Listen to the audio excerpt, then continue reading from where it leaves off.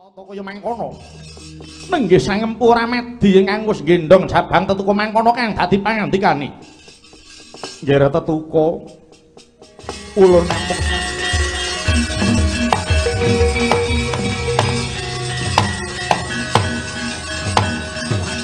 Ger, ger. Apa kowe iki ora krungu kondange Pandhawa ento Sekti Mandra?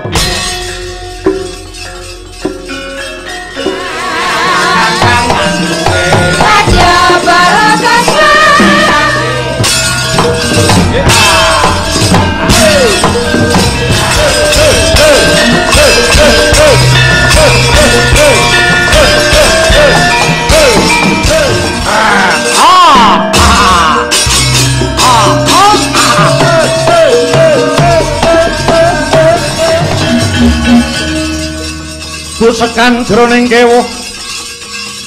Mandeka dongon selang pedang ana ratu tuwa mung karinjeng kangge ning luwangan so.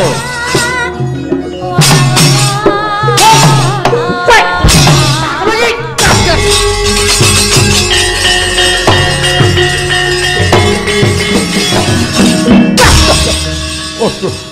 Oduh yo. Wo!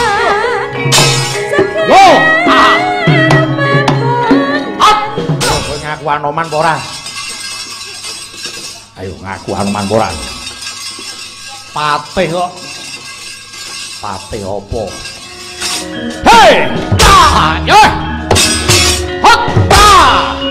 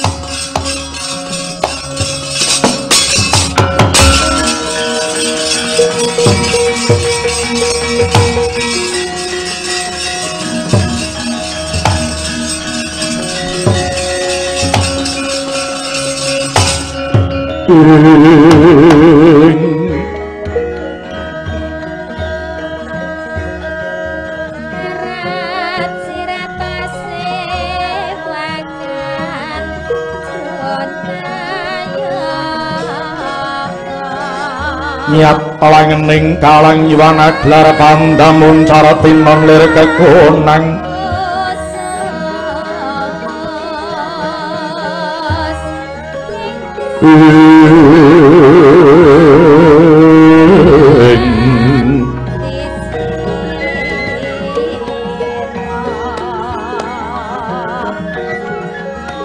Surem sorotetan padang kasor lan pajaring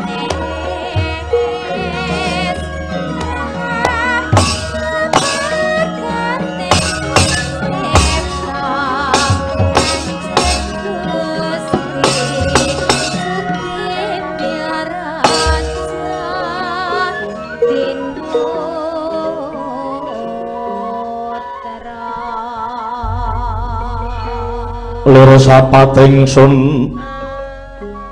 tumiling hangulati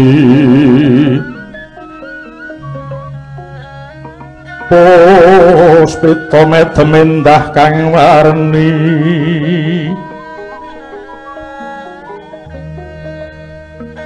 Om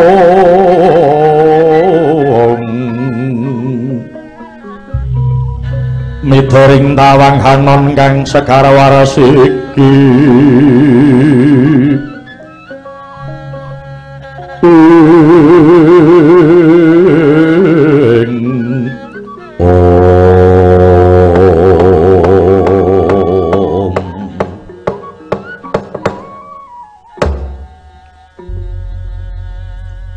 pukulun sarawuh paduka kula ngaturaken sembah sungkem nggih gunjuk pukulun narada Oh iya iya iya berkenceng berkenceng Pak Pak Pong Pak Pak Pong Bu Bolong Waruna yang tinegor wong kali jodegetan iline. Ya ya ya. Empu Ramadi wis ulun tampa sembah kita. Mengkene nggih Empu Ramadi rawuh ulun iki kautus adi guru. Kene ndandake jagoning dewa Jabang bayi kang ulun pondong iki anak Werkodara jenenge Jabang Tetuka nggih Ramadi. Mula didandake lan digemblengke dhisik pamriya aja kong sing nguciwani oleh Jabang Tetuka iki minangka dadi jagoning dewa. Ora ana kang dipercaya ndandani amung kejaba kita kulup Empu Ramadi. Mula mangsa bodho Jabang Tetuka kang lagi umur setahun iki ulun pasrahke marang jeneng kita Empu Ramadi. Urmaos nampi pakurmatan dene kula kadawan dando silare menika pukulun. Gandeng kula menika namung tukang pandhe gegaman kalian damel kereta. Mila wanggen kula ndandosi tetuka inggih kula mawicara kados menawi kula damel senjata tuwin kereta. Terus arep kapake bocah iki. Badhe kula jedi wonten lebeting kawah Candra Dimuka. Lho, dijedi. Inggih. Elek elek elek elek elek. Wah. Aduh aduh, nek nganti bocah iki engko lebur tumpur dadi lebu. Werkudara mesti ngamuk nyangkayangan goleki aku. Aduh, mesakno aku Muramadi.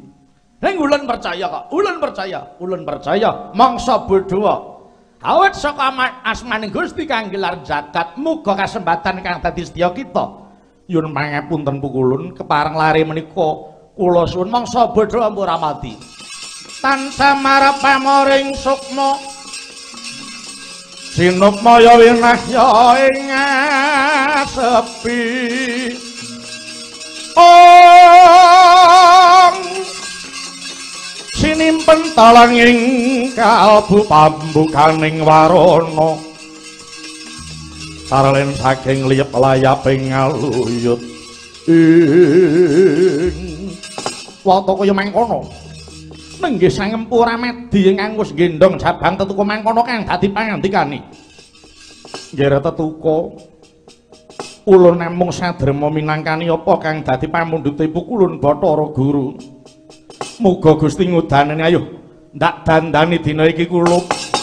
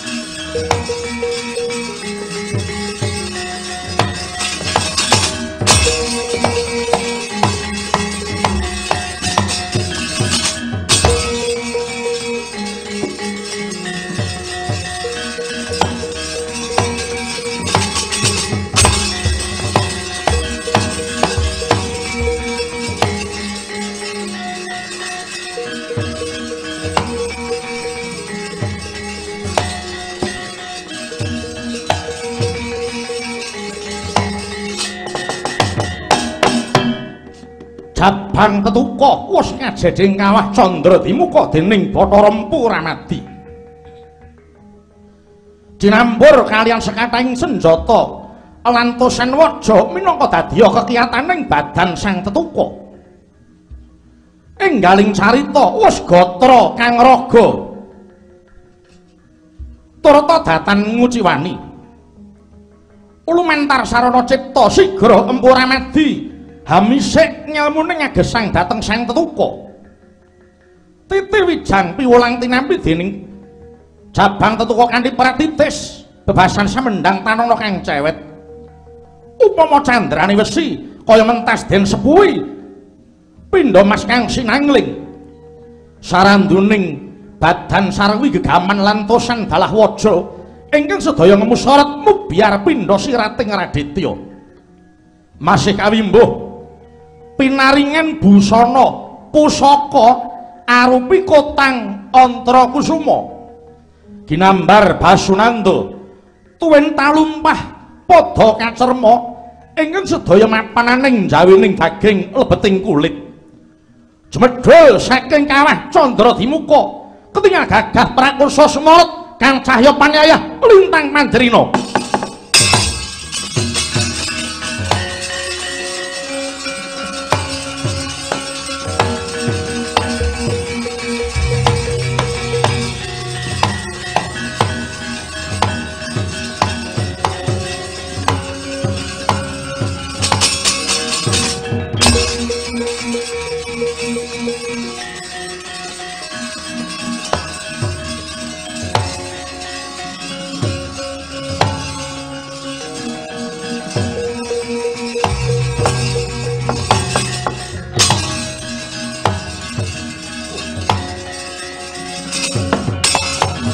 kagyat risang kapirangu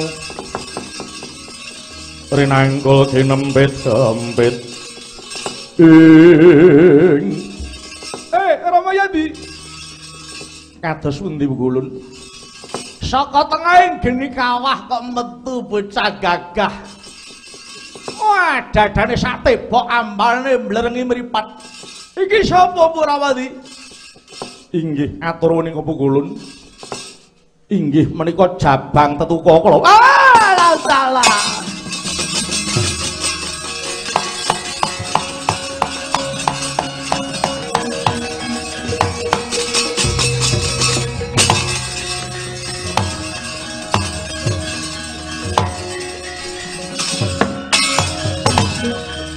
Alah, lek lek lek lek lek. Wah, bocah kok bagusnya kaya ngono. Ora beda karo gerangane. Ah, kaya Warakundara iki. inggih Eh, mengko dhisik Empu Rawati. wonten dawuh Dan mun jadi ki mau jabang tetuka banjur tak campuri saking tosan lagi gaman. Kuwi karepmu piye?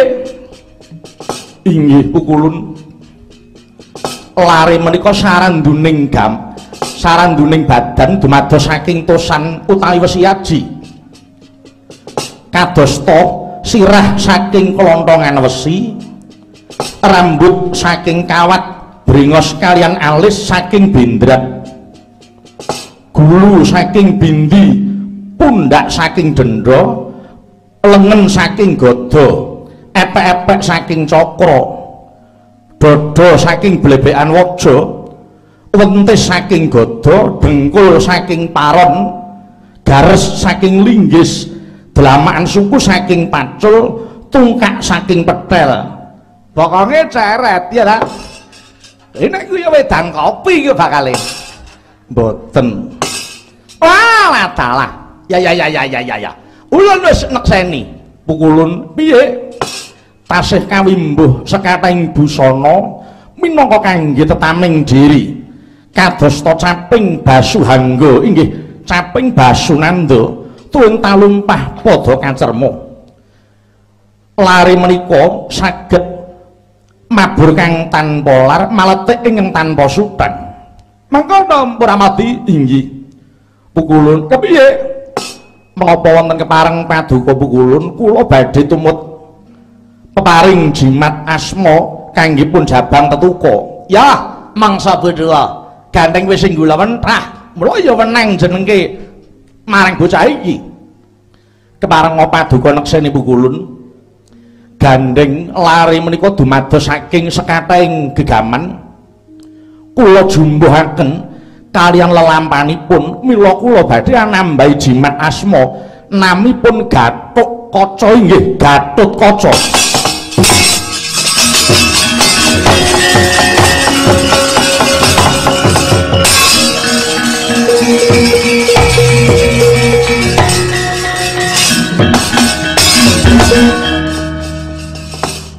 mangsa seger sumyah awakku. Padha mergo darah suarane. Bocah kok jan. Wah, kowe kuwi sapa ulun bathara madi ya mayadi sing mburi kuwi sapa ulun Bathara Narada. banjur aku iki sapa kita iku jabang tetuka ya gatut kaca Ya, wong etua kita panenggak Pandhawa jenenge Werkudara ya Bimasena. sabab apa aku temeka ing papan kene? Lan iki ana ngendi? Iki mapan ana ing kawah Candradimuka mula nganti jeneng kita temeka papan kene awit sinaraya dening Jawata. Sinaraya dening dewa minangka dadi jago mangurah satru murka ingkang bakal ngesur kalengganing pukulun Bathara Guru Suralaya kuwi mapane ana ngendi lan dewa kuwi apa Wah, iki takon kok ngoyak wae. Ah, Malah judeg sing mangsuli nek ngene iki. Dewa ki ya tuladane kaya jeneng ulun iki, lamun jeneng kita kuwi titah menungsa. Suralaya papaning dewa, Suranggangkara ki pamane menungsa. Ngono Gatotkaca. banjur karepe kepiye Gatotkaca, jeneng kita praptana kene iki ya merga ulun ingkang nggawa nalika semana. Jeneng kita dadi jagoning dewa. Merga Suralaya dina iki kunggan mungsuh saka Kiskendhapura Prabu Kala Pracana lan Patih Hiranya Sekipu. Amung jeneng kita ingkang pantes minangka dadi jagoning dewa. yen pancen mengkono aku ora bakal mundur sesangkah apa ingkang kudu tak tindakake tumuli dawuhna monggo pukulun gandeng sampun rampung dados kewajiban kula jabang tetuku inggih gatut kaca kula wangsulake dhateng paduka pukulun Oh iya iya ya Mpur Amadi.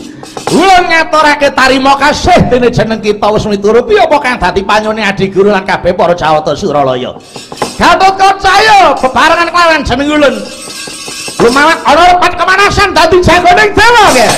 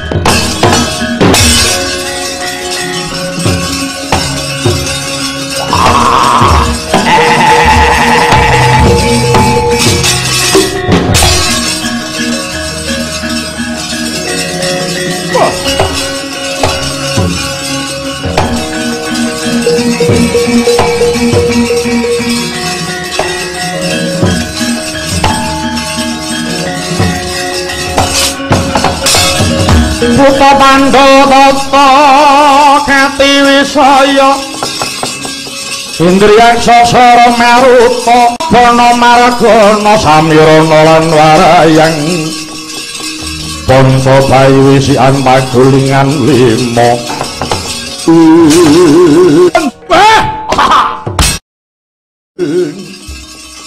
Menika pukulun narada ingkang merpeki dhateng kula. Eh, pati sekipu. Wonten dawuh. Gandeng katone Ratu Gustimu ora gelem ngendhakake kang dadi kekarepane. Ing kene Jawata duwe sayembara. Menapa sayembaranipun? Kelakon Prabu Kala Pracana lenggah dampar Suralaya ning ana pitukane.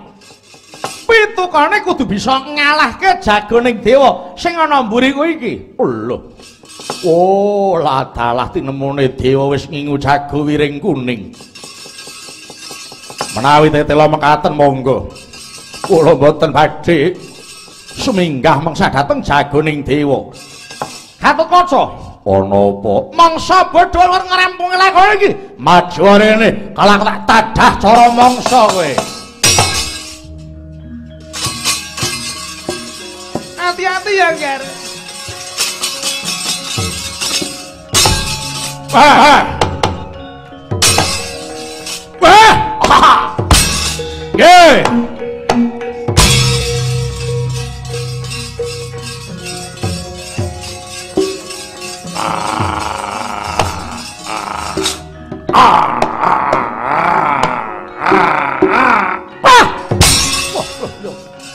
Alote.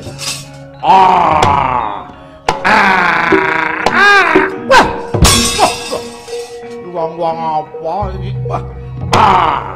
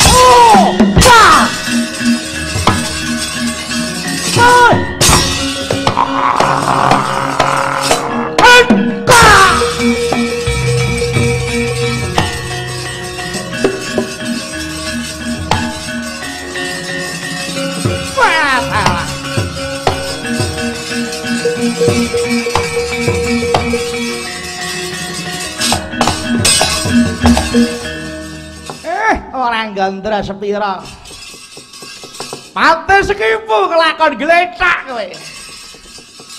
Gatot kaca, Ana apa? pate sekipu mati. Tak kapake. Tak cokot. Heh. Nyokot. Iya. Wah, dalah orane wong iki ya anak buta. Ane ya ora patut, bagus-bagus kok nyokot. Sing nyokot ya karep ben buta wae. Kowe wis ngatri ya aja nganti nyokot. Sebab apa aku nyokot mergo aku duwe siung. Oh iya ya. Tapi yen ora duwe siyong ora bakal bisa nyokot. Mesti wae mengkono. Oh, ya. Karep ben ora nyokot tak pangur siyongmu, Ger.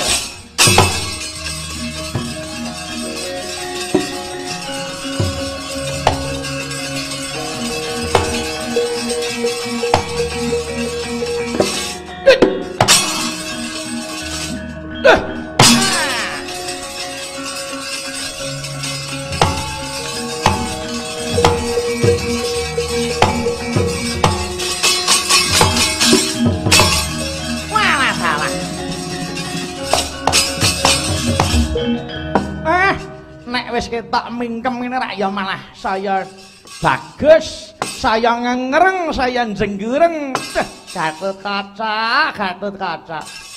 Ora beda karo wong atuamu si Warakudara. Iya. Mung kali siji Ratu Kiskendapura Prabu Kala Pracana. Sisakno, Ger.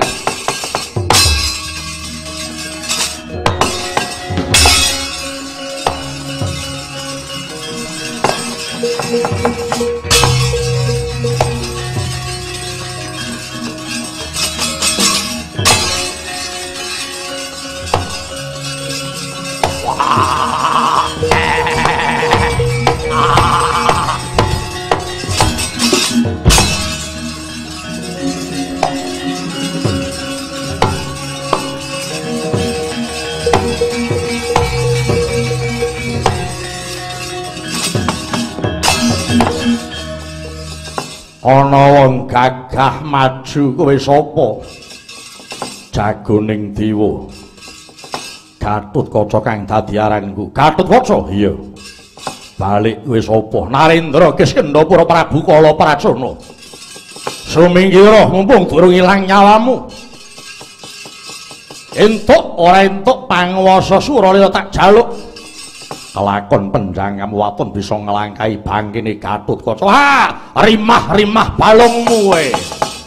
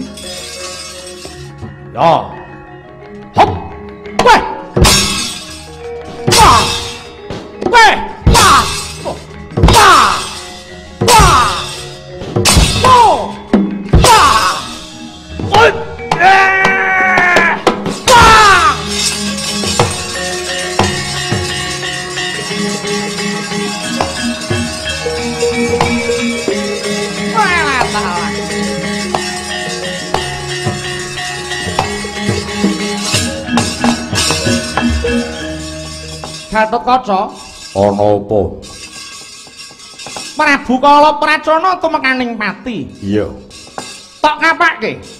potol gulune. Ah. Iki dadi pertanda. Besok lamun kita perang mungsuh sapa wae, nggonmu mateni ora serana dicokot ning kanthi dipotol gulune. Iya. Gandeng wis rampung kewajiban jeneng kita. Ayo. Ulun larapken urusan ngadi guru. Tak derekke dina iki.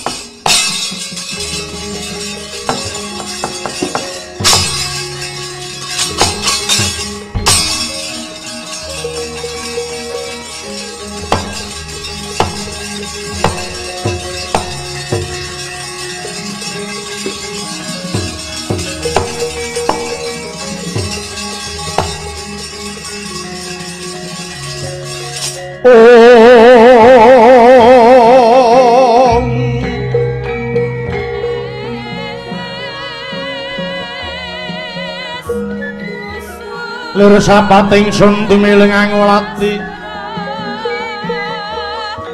Puspita medem indah kang warni.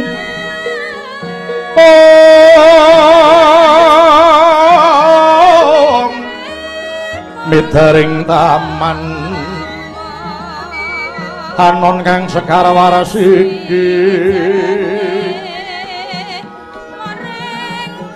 Ing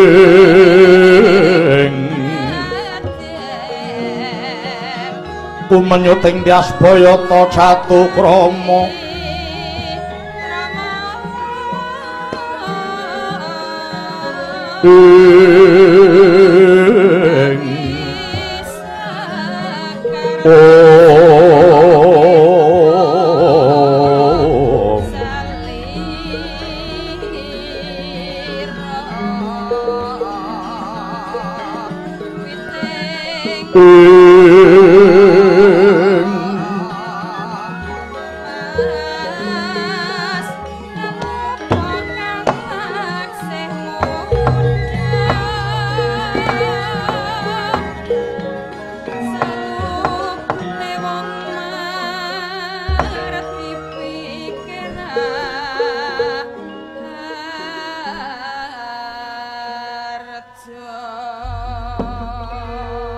karasang wisating hawan. Molat sirilangening marga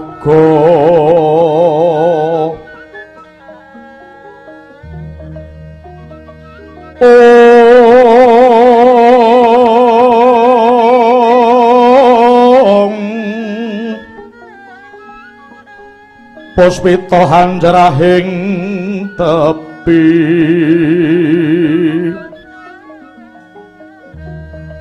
manor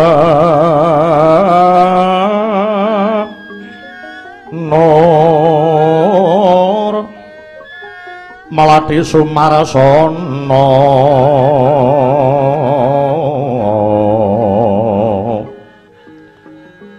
Esto susugun sira sang. Ulu sesaji gondo. Sumrik mananduk grono. Ing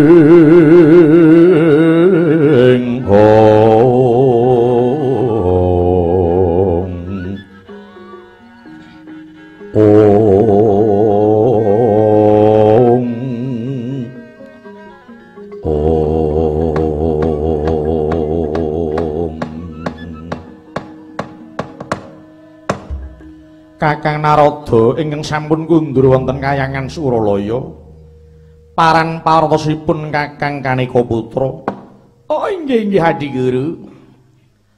Mugi andados ning kawuningan anggen paduka Adi Guru ngutus Rakanto ing sidi pangudal-udal. Amlapatu utawi hamemanuki minangka dados jagoning dewa. Awit pangestu Adi Guru Suralaya sampun kalis saking cengkermane mengsah inggih menika Prabu Kala Pracana tun Patih Hiranyo Sekipu awet jagoning Jawata sampun mimpang Adi Guru. lare menika sinten Kakang Lah, menika ngaten Adi Guru. Menika pun jabang tetuka ingkang kula mban kala semanten.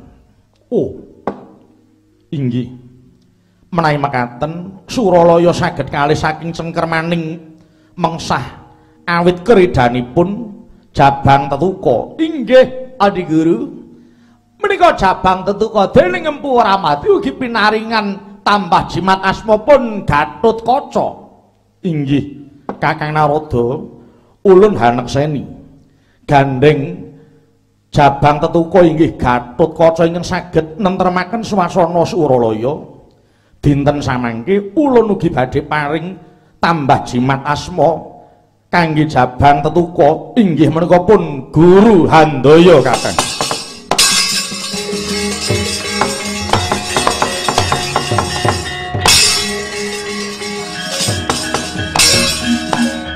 Guru Handaya teges menika dados putra angkat paduka Guru. inggih Kakang Narada Gatut Kaca ana apa kanugrahan tumpuk matumpa-tumpa ingkang kita tampa nggih Gatut Kaca. Sakwise jeneng kita wis dewasa lan uga bisa manglurah satru murka Prabu Kala Prajana, ing ngene jeneng kita dipundhut putra angkat dening Adi Guru pinaringan jimat asma Guru Handaya. bangeting panarimaku dene aku wis diakoni ngreh kridhaku tumrap marang para Jawata. Ya ya Gatut Kaca, ulun uga ngaturake tarima kasih. Semono hanggon kita tetombok raga udu jiwa tumrap tentreming swasana Suralaya. Kakang Narada, Kados pundi Adi Guru? sak sampunipun Gatut Kaca mimpang mengsah Narendra Kiskendapura. Saderengipun Gatut Kaca mandhap ing Madyapada keparenga kasuwitakna wonten ngarsanipun Bathari Saraswati supados dipun wulang ing reh kabudayan. Tuwin kasuwitakna dening Bathara Ganesya supados piyambakipun wuwuh ing bab pangertosanipun tuwin saged nengenaken reh tata krami. Oh inggih, Adi Guru, ngestakaken dawuh. Tumunten kula nyuwun pamit nyuwitaken dhateng Gatut Kaca wonten ngarsanipun Bathari Saraswati tuwin Bathara Ganesya. Ingkang menika Kakang monggo unjuk syukur ngersaning Gusti kang anggelar jagat dene kayangan Suralaya tansah manggih kuncara anjaying bawana.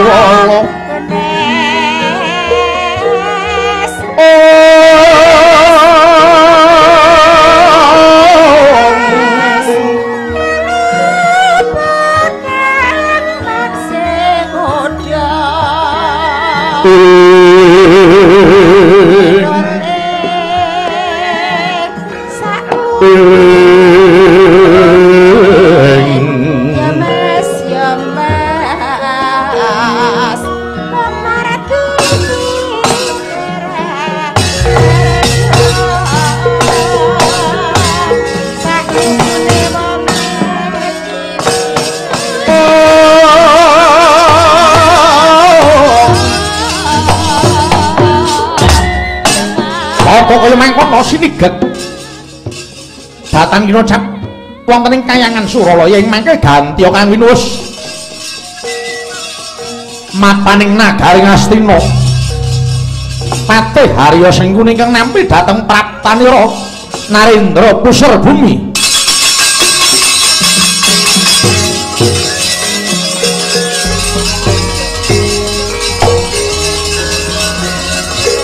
Hajar kang samya sebo Pindara bingkang samudra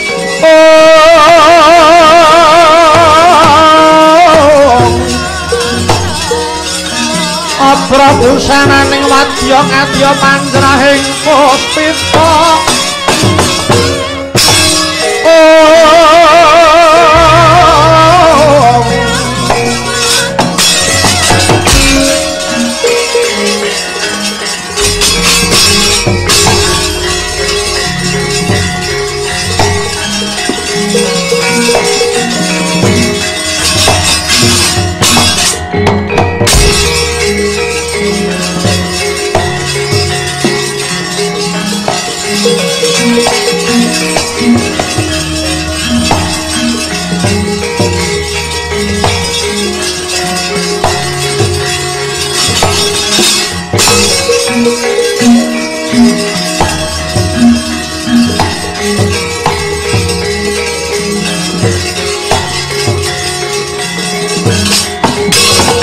Indra kang batuwinga Acambo samya medali lir nadet wileting gondo. Kayu angkung mengun sang niti Minjang sangat simicil Om! Latinya ngedali wuwus Kuto surawilogo kaya buto singa redil pasti tunggu dendanya mangambak boyo.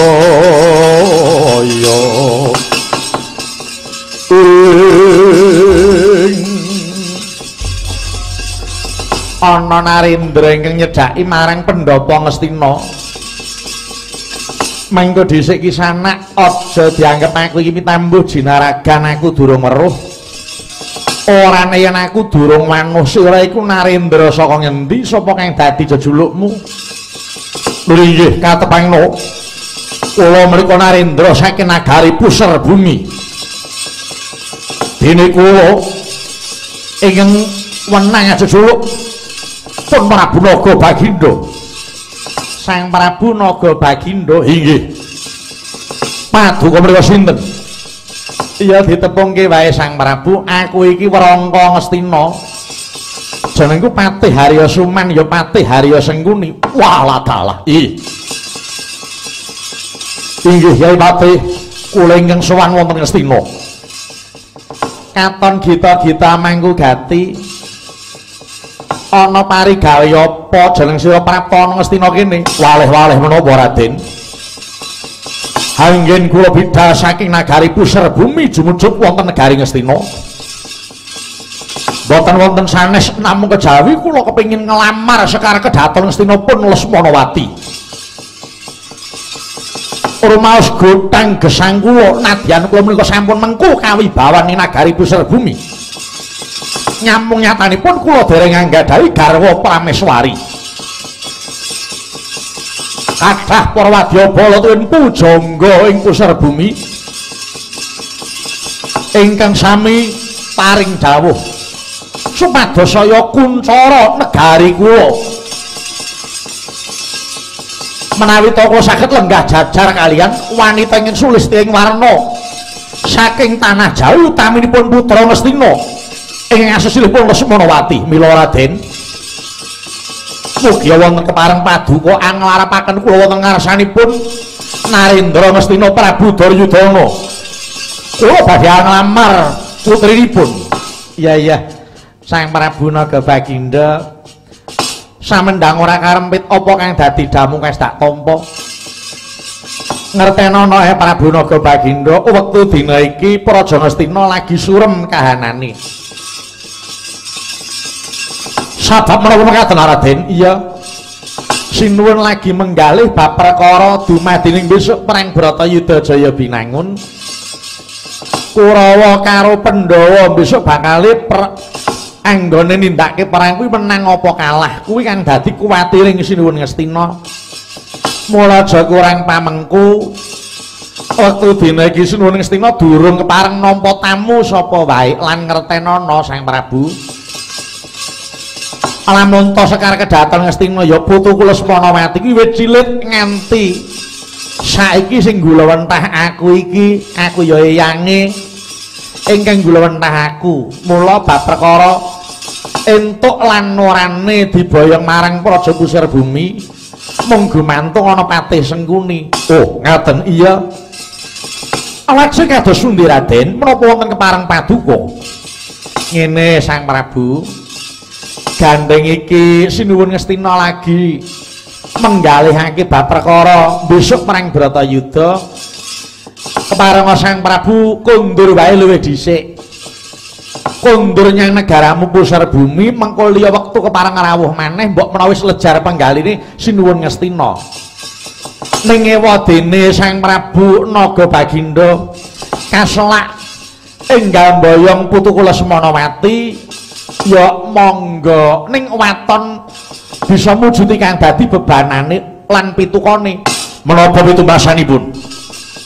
Paduka ngersakaken Mas Wicesara Jabrana sampun kula betaken saking garing kula pusara bumi ya kuwi pitukane ora Mas Wicesara Jabrana menapa pitumbasanipun waton sira bisa madhangke lelakon Praja Ngastina ing kono bakal kasembatan sediamu ngertenono Pandhawa Kurawa ki mungsuh bebuyutan lamun to Sang Prabu cilik bisa ngrangket Pandhawa mung gawe mateni Pandhawa bangkene Pandhawa tumuli kaaturke ana ngersaning Sinuwun Duryudana. Ora esuk ora sore. Bakal kasembatan jawab putu kula Semanawati ya Sang Prabu. Kagiat risang kapirangu Renang koki nembet jampit Dosa ngerkaning bawono ong Ya si tukang walang hati Ya si tukang nesing tiap. Ya si tukang kudu garing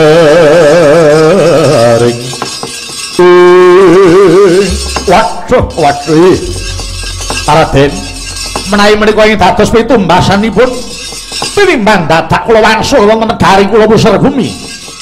Dasaripun kula dumugi wonten negari Ngastina sampun nganti bergadaning prajurit bendang dadak ngantos menapa? Dinten menika ugi kula badhe minangkani panyuwun paduka Raden Patih inggih menika magas jangganipun para Pandhawa. Cekap lenggas keca kula ingkang badhe ngudi pecahipun para Pandhawa Raden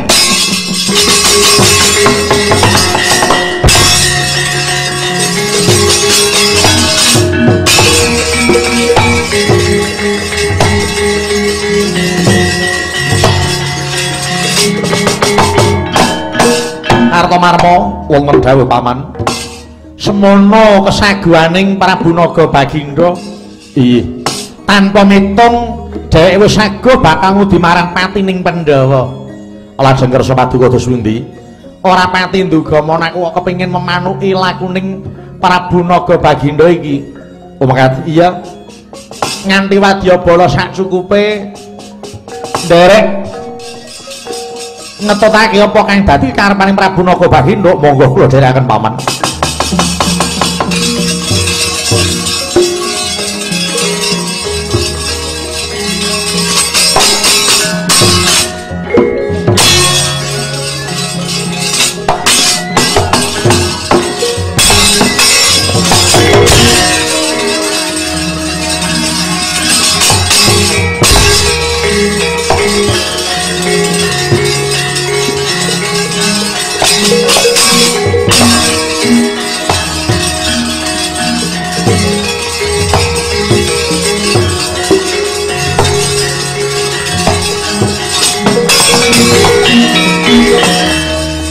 Dewi anak Prabu apa wis kemarin Sang Prabu Duryudana ngulungake Sekar Kedaton Lestina? Bapak Penemban wonten pitumbasanipun. Pitukane apa? Waton kula saged ngaturaken bebandaning para Pandhawa minggahipun. Bangkinipun Pandhawa. Tumuli kasembadan sedya kula.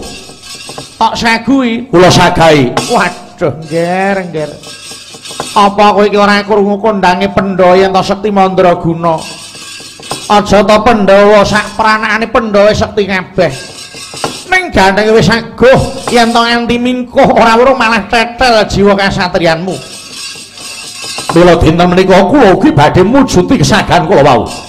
Eh, temenggung Prawira Sandi, wonten dawuh. Mara metu njaba perintahna Wadyabala gawan saking pusar bumi. Krik lampet brungkat kimpul gajah gelar singa barong. Mudi marang patine Pandhawa kemarang mata pasilan.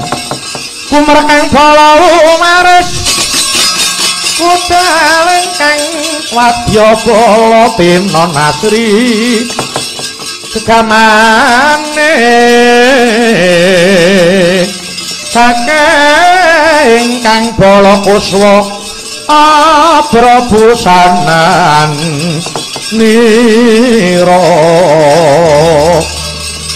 pranyata wasiri dinulu pindha panggrahing puspita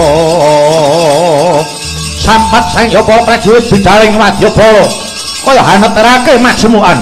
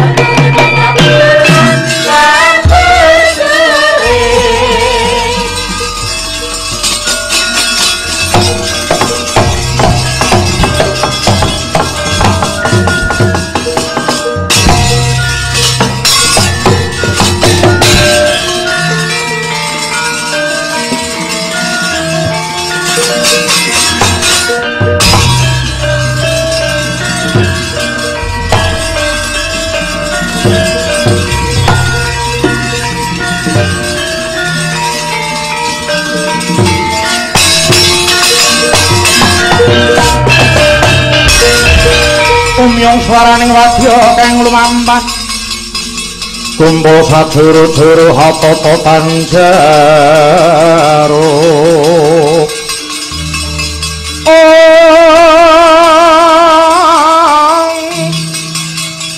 Bani rahmat parana Ong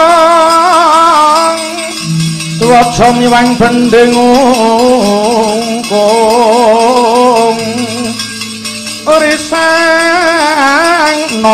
naga tagindo kang minangka.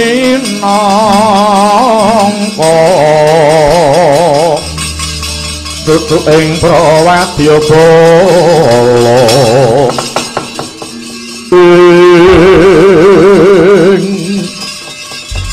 Kakang Anoman wonten dawuh sinuwun. Mentas wae jeneng ingsun nguntapake marang Yai Kresna apa dene Dimas Warakudara nggone ngupadi kelawan anakku Gatotkaca. Nun inggih. Ketingal surem rengu pasuryanipun kadang kula Yai Warakudara awit ngupadi dhateng anak kula pun Gatotkaca. Wah. Wiwit nalika jaman Gatotkaca diboyong nyang kayangan menika dadi jagoning dewa.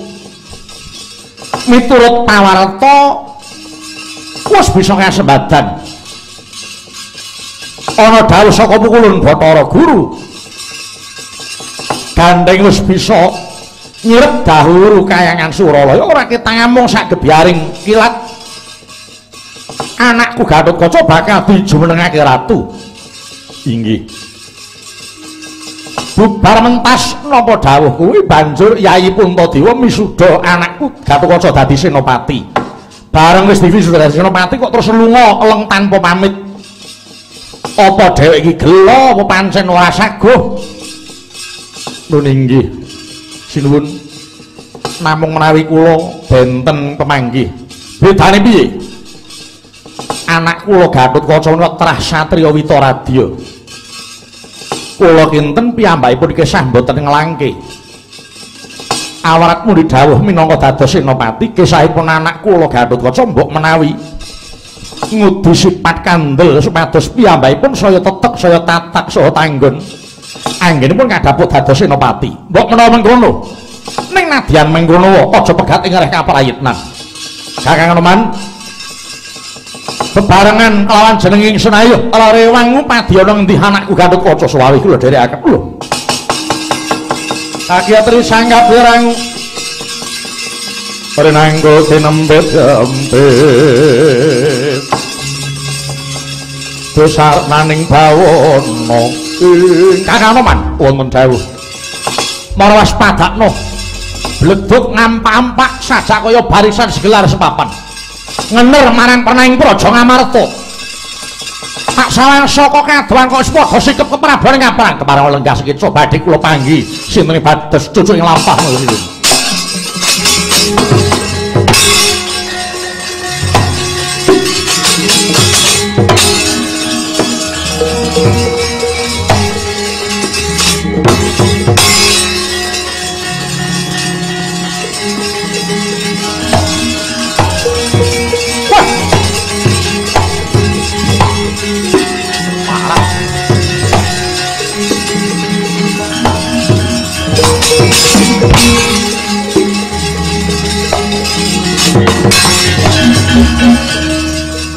Busekan jroning kewuh. Mandeka dongon selang pedangipun Kang kataman brojong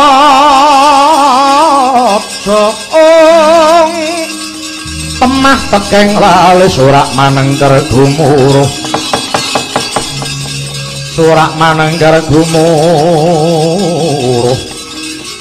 Ing ana munyuk putih ngaglah ana tengah dalan. Eh, katone bisa tata jan mung ngaku kowe sapa? Balik Wadyabala saka ngendi? Wah, dalan rupak lumo disian. Wadyeng puser bumi. Kekasete Gustiku Prabu Naga Bagindo.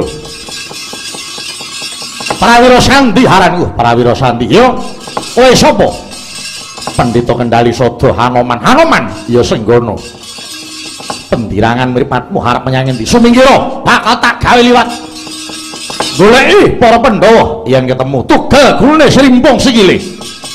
Ora sah langap-lang waton ngucap.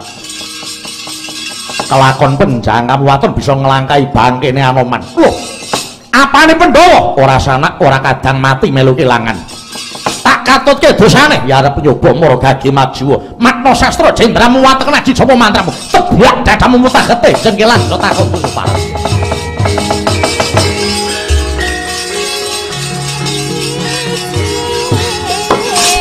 Hei!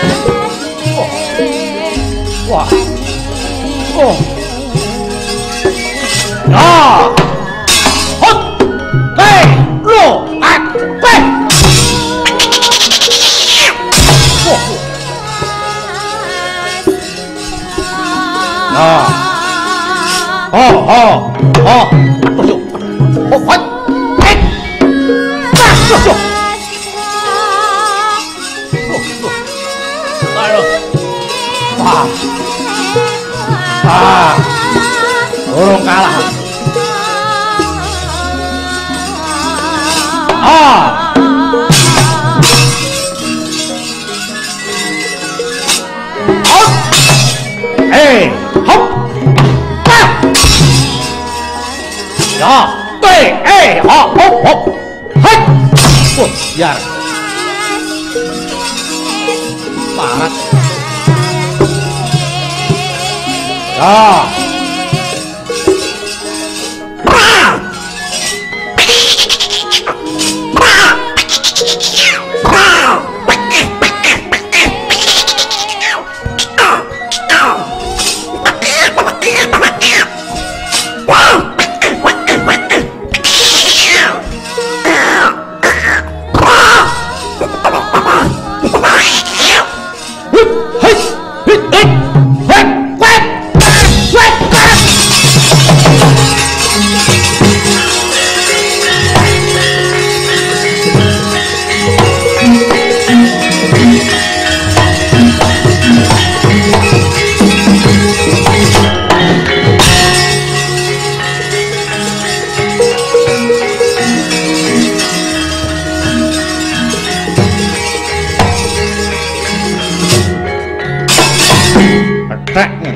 Ngendel-endel lagi. Ayo. Has.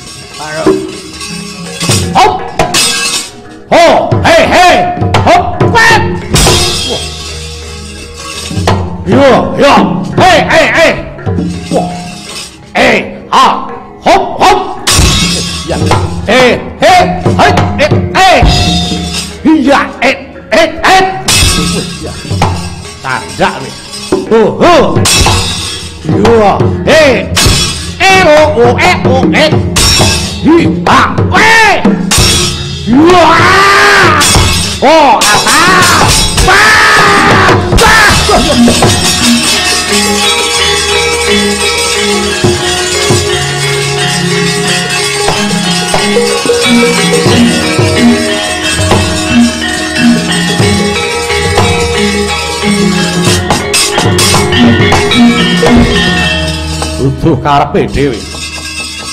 Mundur wadya bala pusar bumi. Gulungan genderamu bongkokno gamanmu. Prabu Naga Bagindayana iki.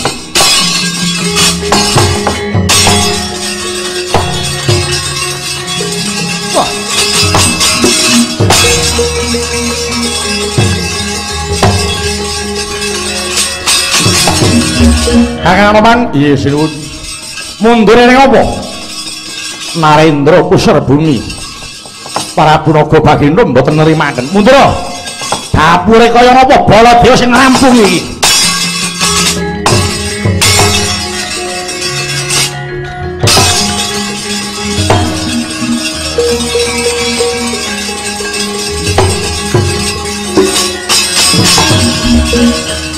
Di munyuk putih kaku melibat ana kene.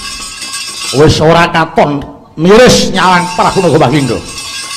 Ana ratu tuwa mung karinjeng kangge ning luwangan soe. Eh. Naga Bagindo. Lek nomor patmu gatekno gobokmu. Nata Mandura Prabu Baladewa, Halayudha Kakrasana Karsana. Kowe tekan kene arep ngopo? Wah apa? Goleki para Pandhawa. Yen ketemu bondo tangane serimpung sikile tugel gluwak cakep iki.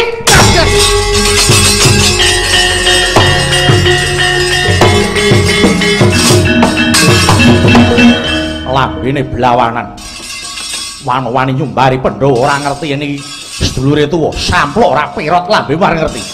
Ayo li, tuwe maju ora barat.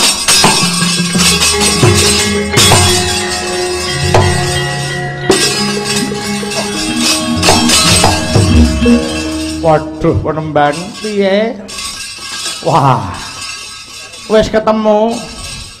Kali sinten Pandhawa? Dereng. Lah kok turu ning dalan, ratu kok turu ning dalan kuwi isin-isinke. Sing turune sinten? Wijata Siwang kok turu. Sapa mungsuhmu? Ratu Mandura Prabu Baladewa. Aja kowe sing maju. Tuwek do tuwek kaya apa wujude Baladewa? Ida dikobong Baladewa.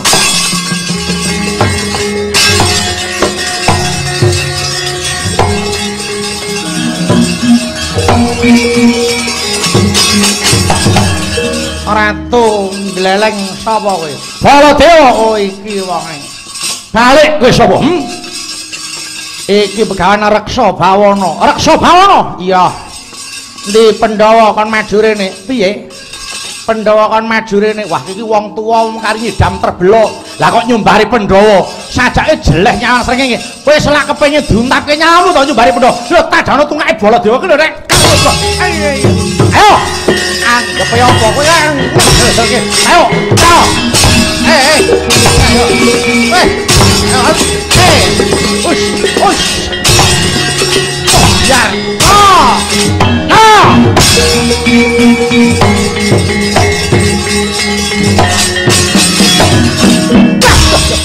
Ah. Ah. Aduh. Aduh, Yung. Wah. Aduh. Ayo, Yung. Priwon. Aduh. Balade wong garap wong kaya garap kewan. Aku iki pendhita disembah-sembah. e. Lah kok mung trima dinggo iles-iles nang kene. Eh, iya iya ya ngendel-ndelke. Taman pengabaran mbuh dadimu, Pak.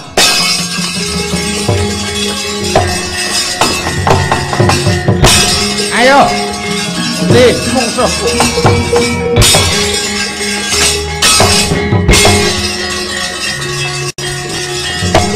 Amuk, ora merasa. Nah. Go!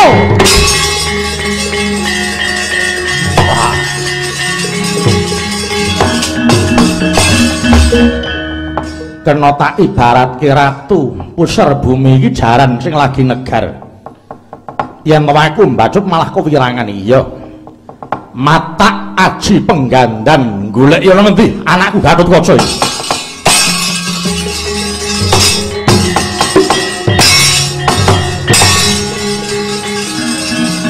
Aduh, ayo.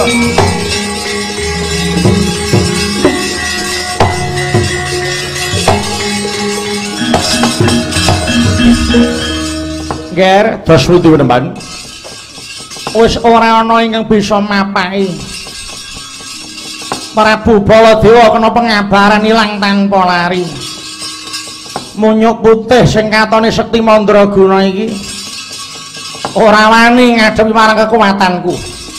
Para yoginipun Aku iki ra wis tau krungu kondange jare Pandhawa kuwi duwe senopati. Mekaten iya. Senopati sing digol-golke iki ora ana liya mung kejaba sing jeneng Gatut Kaca. Mekaten Penemban. Heeh. Dinteni wae. Dinteni wae. Awake dhewe mesanggrah ana sak cedhake Praja Ngamarta. Mengko yang nyanti ana sing ora trima. Aja ndataken suwen Ngamarta dibedah babar pisan. Oh iya. Yen Puntadewa wis nguncupake tangan, tegese dhek wis teluk. Tungune dibondo diaturke Sinundridana. Nggih, rai ngaten monggo. Kepareng mesanggrah sawetawis ayo mundur satara nggih.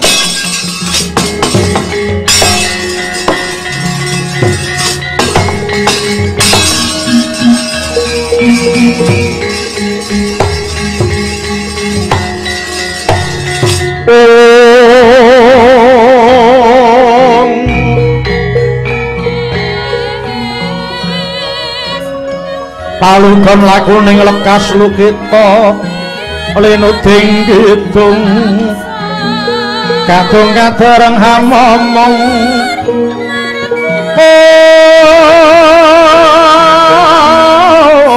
memangun manah ora hayu. Hayu ana kang tanah golong gumolong manat duwara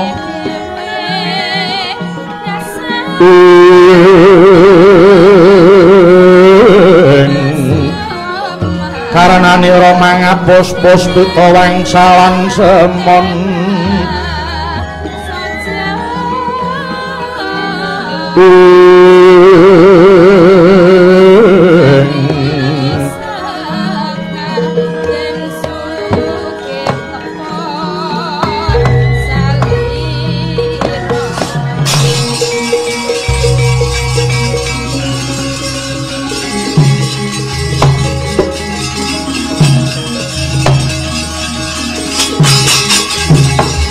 Begonjang kancing langit kelap-kelap katon Lir kintanging sang maweh gandrung Sabarang kadulu ukir moyak mayik Eh, Dara Janaka ing rawuh. Wonten krasa ngados pundi Den Kakang Semar? Eh kula marmaning nggonku temeka ana ing papan kene wigati nganti Kakang Semar ngupadi kelawan anakku Gatotkaca. Wis ana gumathok ing rembug para kadang Pandhawa kelawan Wa Prabu Kakang Prabu Kresna. Lamun to anakku Gatotkaca kang pinilih minangka dadi senopati Ngamarta. Nanging emane murca kang tanpa pepoyan. Eh nggih. Menawi tetel mangaten monggo kula dherekaken ngupadi kang putra sing ngantos sak pinanggihipun. Aja adu-aduh nggon mulih aku tak wangane ampung sak dawaning lambean Kakang Semar. Monggo, Den. Digerokan kala bumi ngalap tanpa samya medali.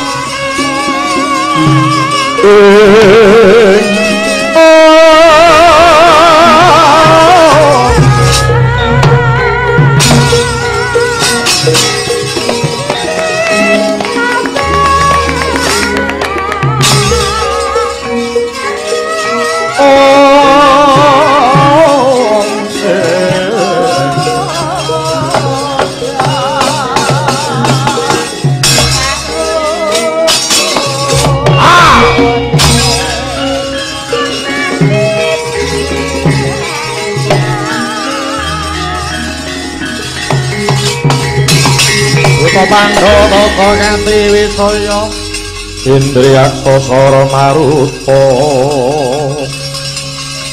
Pawana pana maragana Ing Satrawagus mandheng tak takon ing masa ning aku wong aku buta bali takon ngendi dongko sapa pertek waduh junjung sapa parat obabamu wading pusar bumi Nek kok iki kala sangkirna janji. Balik kowe sapa? Arjuna kang dadi Kakarsuna ya Janaka.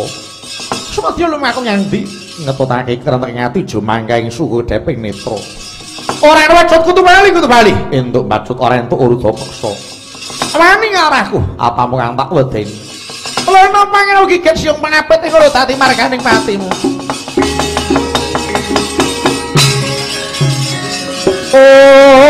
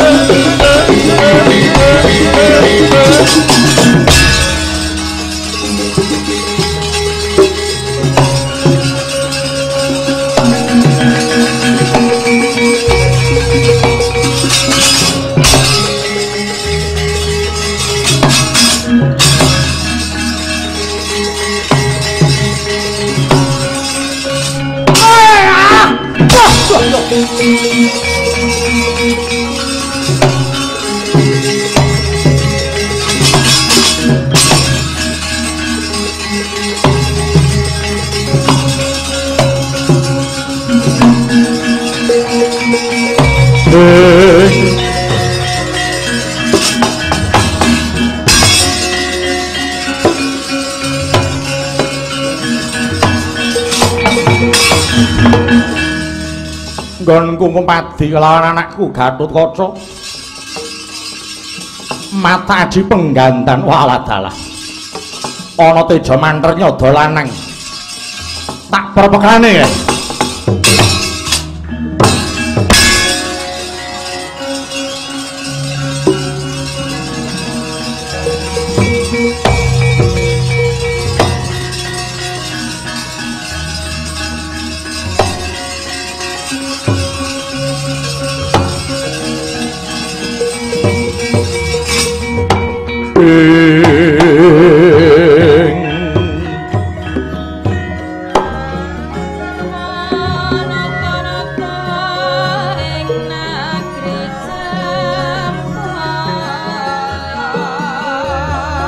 lang-langing driya mangu mangu-mangun kung kanduhan rimang.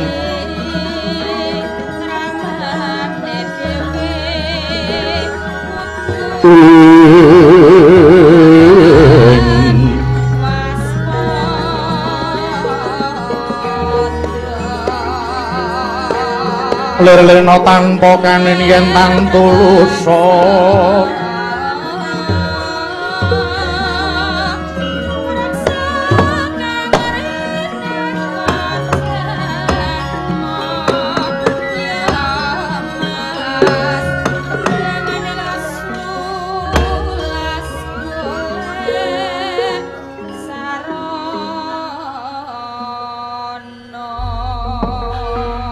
sing resang nahengkung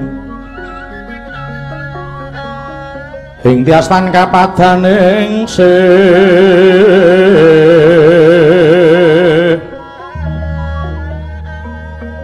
kasang saya ing turida urutatine hangaranui. Ngaran Joko miwah wigena kinupita ing sahari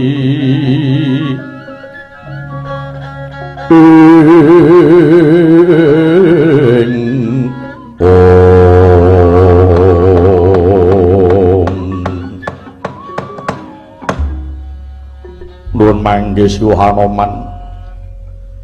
Dereng dang rawuh jengandika kula ngaturaken pangabekti mugi katur jengandika Siwa Hanoman. Inggih nggih anak Prabu. Kula tampi dawah sami-sami pangabekti paduka nggih wangsul pangasta mugi katur anak kula Gatotkaca nuli dat anggen kula mundi saengga jimat kagiat manah kula dene Siwa Senggana merpekti anggen kula mangsah semedi. Ingkang menika kula cumadong dawuh wakapi inggih. Awarat punwa ngupati dateng paduka anak kula. Inggih mrihatosaken dhateng Rama Werkudara saha para pepundhen paduka Pandhawa sareng anak kula Gatotkaca kesah ingkang tanpa pepoyan ndadosaken penggalianing para pinisepuh lho nggih. Mila kula lajeng ngupadi anak kula ing Mringgondani. Sareng kula mata aji penggandan jebul anak anggir mapan wonten madyaning wana Tribasara. Wonten menapa to? Wonten menapa teka anak Prabu boten pamit dhateng para pepundhen ngantos dadosaken duh kitaning para pinisepuh lho nggih. Nun inggih wakapi waleh-waleh menapa? Mila kula ngantos kisah saking kasatriyan labet anggen kula rumaos ewet pekewet manah kula. Sak samunipun kula kadhapuk minangka senopati Ngamarta. Eweting manah labet tasih kathah para satriya ingkang mumpuni tinimbang kula ingkang patut minangka senopati. Namung sabab menapa dene pepundhen Pandhawa lajeng misuda kula. Minangka dados senopati rumaos putek manah kula wakapi nggih Gatotkaca wonten dawuh. Sekedhik pun bapa matur mugi kawuningan nggih nggih tebaning lelabuhan menika estunipun boten metang perkawis umur papan tuwin wanci kok nggih nadyan masih muda nanging menawi pancen cekap pirantosipun kathik dasaripun sangu tekad ingkang kenceng inggih ngriku tamtu badhe kasembadan namung kosok wangsulipun nadyan sampun lalu yuswa nanging menawi mboten niat badhe labuh negari tiyang wau nggih namung ngaji godhong jati akeh anak Prabu. Inggih dene bab papan tuwin wancinipun lelabuhan mekaten namung gumantung wonten kodratipun piyambak-piyambak. Buktinipun lelabuhaning satriya ing jaman Ramayana inggih boten sami kalian jaman Mahabharata. Lelabuhanipun Anoman nalika brubuh ngalengka inggih mesti benten kalian lelabuhanipun anak kula tetuka ing jaman sakmenika. Mekaten wae. Inggih mila nggih mawantu-wantu panyuwun kula dhateng sengandika anak kula Gatut Kata satriya labuh negari menika sampun ngantos malang tumuleh. ugi sampun ngantos tanggung-tanggung lho nggih. Paduka anak kula mboten perlu ewet pekewet. Dumeh tasih muda sabab menapa awit sedaya kala sampun gadah kewajiban piyambak-piyambak. Lah inggih wonten ing mriki menika nggih tumanjaning saloka bineka tunggalika ingkang tegesipun nadyan pilah-pilah kewajibanipun nanging tetep manunggal labuh nusa bangsa negari nggih. biar padang kang arahino pindo pajaring nolo ing batane sang kanika putra?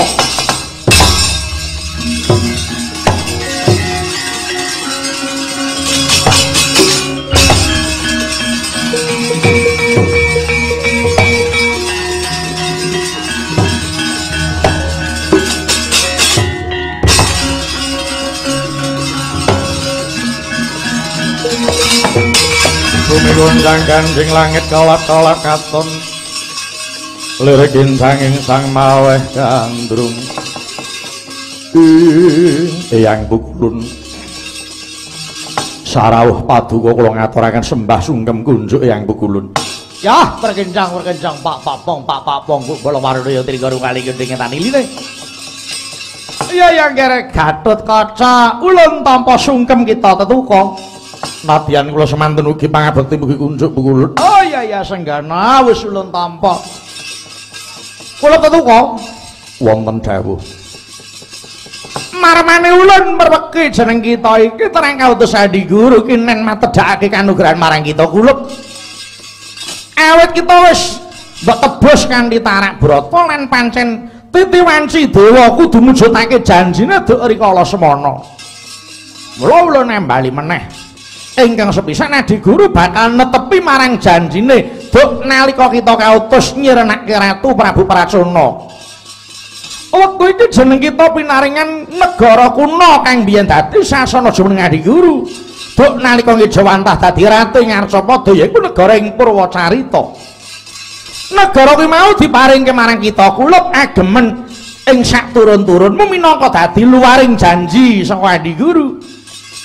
Lan negara kuna mau bangunen karben bisa bali kuncara kaya duk nalika semana ya nggir kondene kaping pindho iki adi guru mundhut tulung meneh marang jeneng kita kulup yaiku kene nuduhake marganing pati putut widak saka.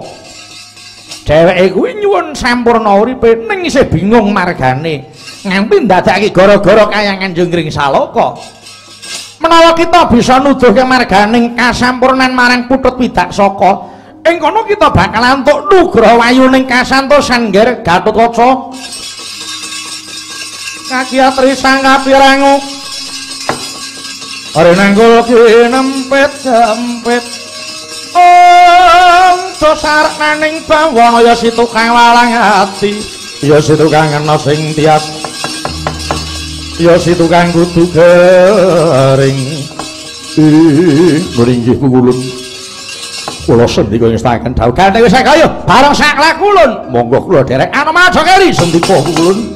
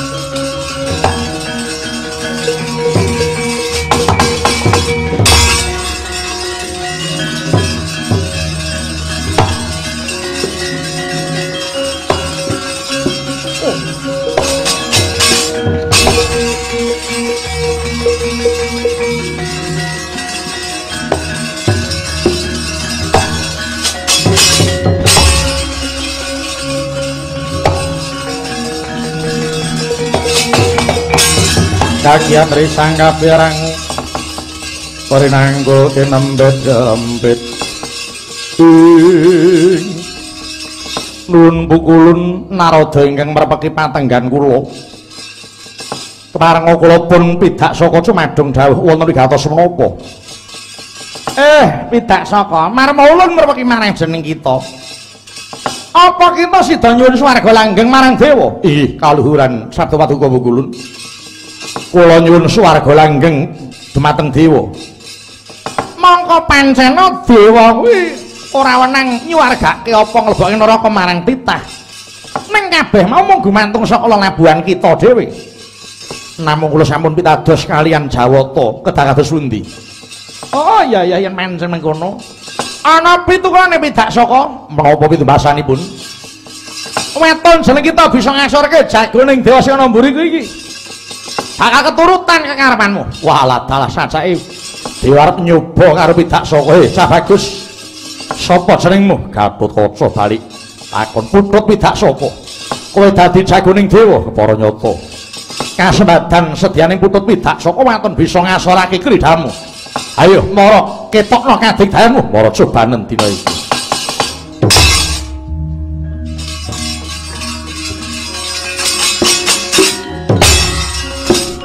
Ah.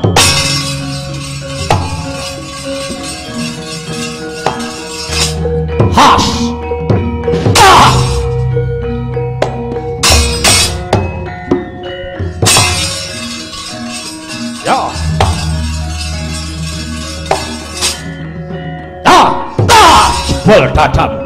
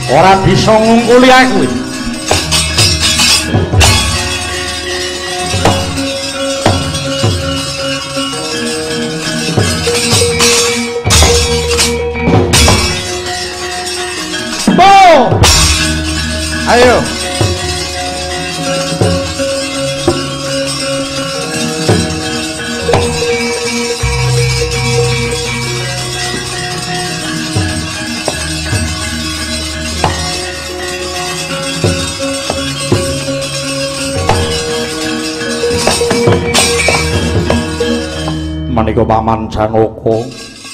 Iya iya Gatut kaca sira kang ndak upadi. Eh, Ndara Gatut kok murca. Ndak pundi to, Den? Lah dadak anggo murca bareng nganti gawe bingunging para pepundhen.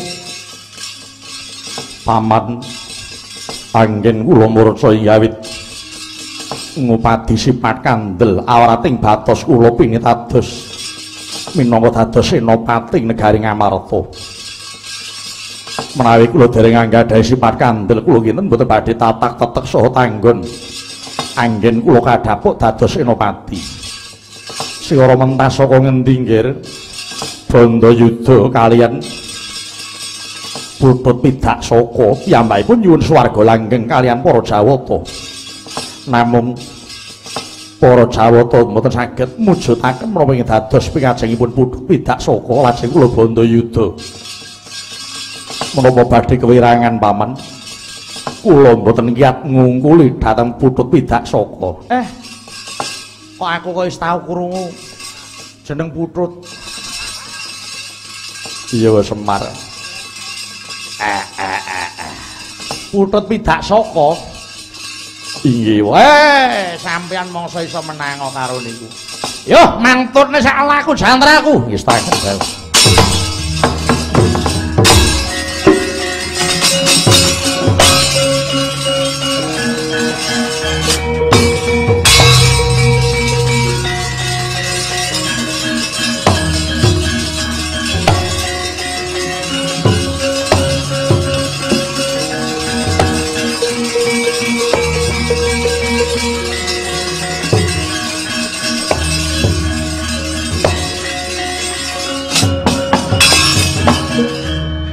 Putut Widasaka, aku tak kandha karo kowe.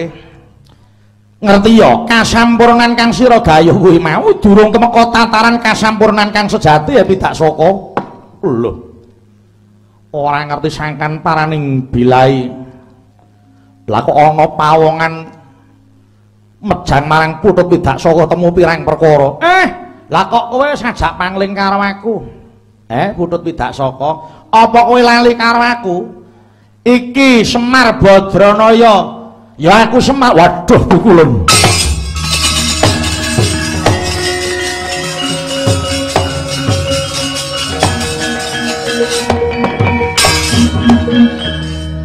aku lak mau ngelingke to. Kowe njaluk swarga langgeng kelawan dewa.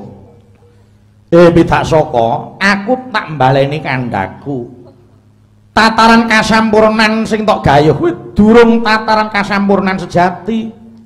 Nyuwun pangapunten Bu Kulunismaya nalaripun kados pundi?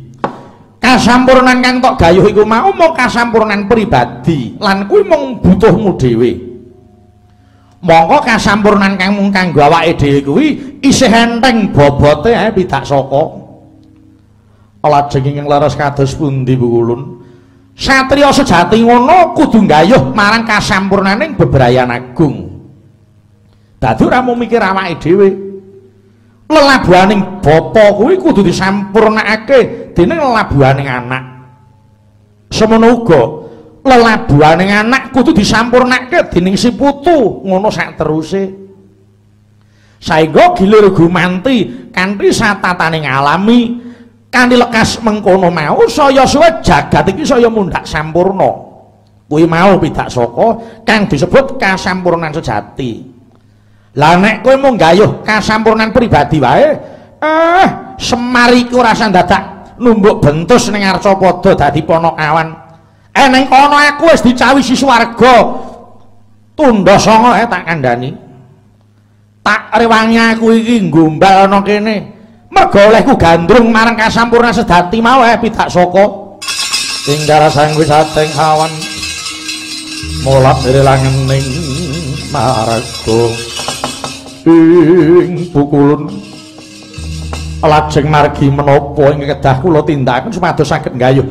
Kasampurnan sejati kula mau menawa kowe takon sing kudu tak tindakke murih sampurna. Gegayuhanmu kang sejati dalane kowe kudu nganyarke marang lelabuhanmu meneh. Ninggalaken labuhan puliya lajeng caranipun dos pundi? Carane kowe kudu golek panitisan dhisik minangka dadi wadahmu. Lajeng lo kedah manitis dateng pundi bukulun kowe tumulin manitisa marang putumu pringgondani ya sing ana mburi kuwi iki kanthi kowe manitis marang putumu Gatotkaca kowe bakal melu cawe-cawe nyampurnake lelabuhane Ndara Gatotkaca kang tegese kowe wis nggayuh marang kasampurnane bebrayan wong agung eh pidak saka. Iki dudu sapa-sapa iki sing putumu dhewe. Kula kowe aja nganti mangruti ngalih pidak saka. Dadi atur-atur miturut. Manut semarah mring Gusti Nggih Gatut Kaca wonten dawuh Kanjeng Hyang. Kaya wis titiwansipun kaki kudu nganyarake lelabuhan kulub. Kang saka iku apa ana lilamu yen pun kaki bakal tetunggalan marang sira kaki. Ujubku ora bakal ganggu marang kabeh gegayuanmu. Kepara pune yang bakal sabiyantu murih kasembadan apa kang dadi sediamu nggare tetuko duh yang persasat gesang kula nampi nugraning widi bilih yang kepareng tetunggilan kalian kula ingkang menika. Kula tampi tangan kalih awit kepareng paduka badhe sabiyantu dhateng kula yang iya banget ing panuwun kungger. mara gage lawang ragamu wengakno pun kaki tumuli manjing go garabamu sabyantu marang botoripot mungger gatutkaca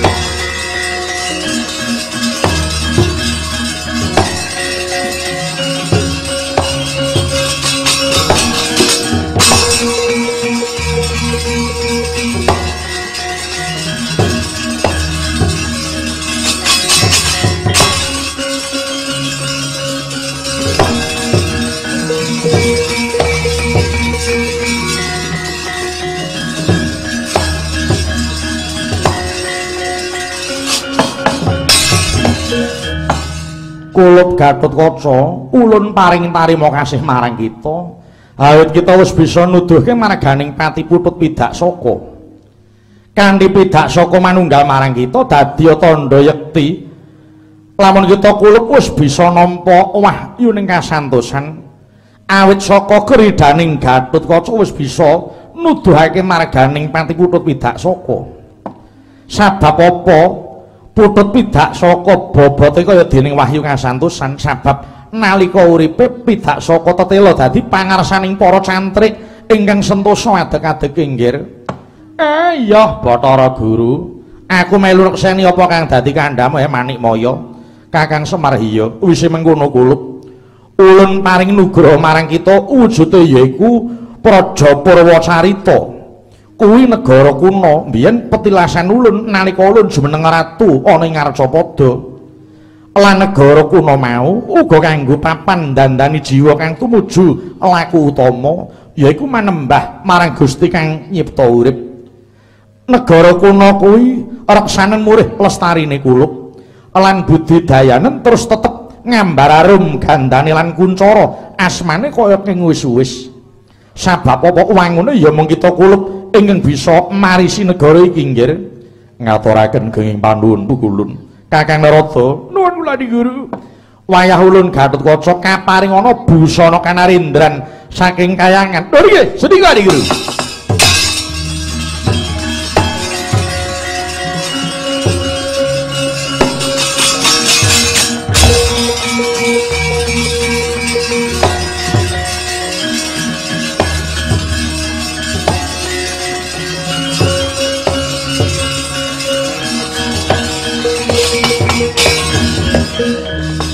kulup Gatut Kaca wonten dawuh Hyang Pukulun sawise kita ngrasuk busana kanarindran wiwit dina iki ulun kepiyake jumeneng nata ing Prajapura carita kanthi jejuluk Prabu Sumilih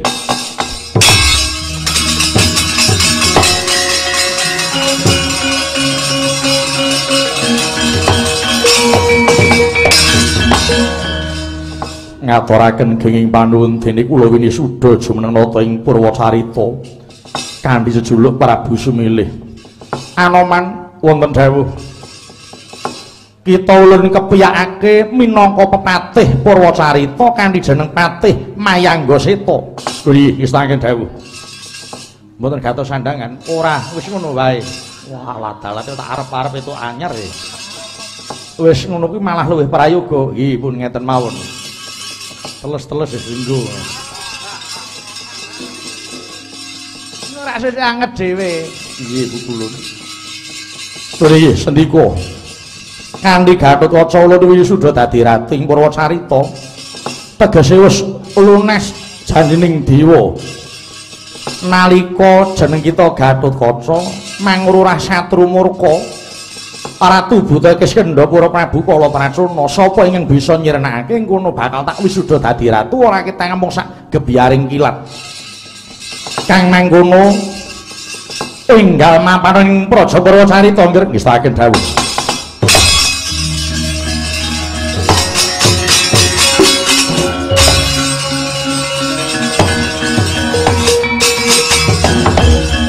Kula patih ugi nyun pamit. Iya, iya, iya. Eh, dadi patih dhewe gleleke jamak. Wis kana mangato. Parang nyun mengestu.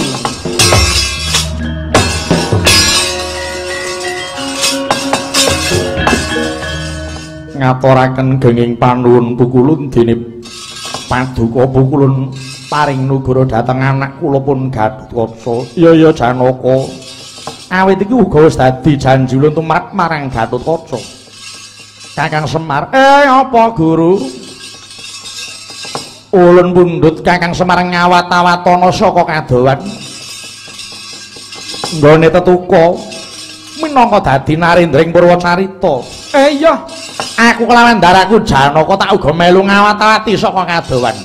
Kang mangkono ulunmu bakal bali makayuan. Yo, donga dinunga he Bathara Guru.